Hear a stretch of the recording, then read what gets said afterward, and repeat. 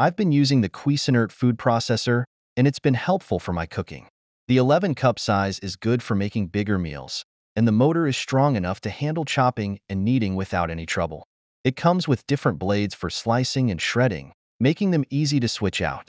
One of the best things is the large feed tube, which lets me put in whole fruits and vegetables without cutting them first. The chopping blade works well for dicing and pureeing, and the slicing and shredding discs are great for quick prep. Cleaning is simple since most parts can go in the dishwasher. The instructions and recipe book are useful, but the machine is easy to figure out independently. Overall, this food processor has been a reliable tool in my kitchen.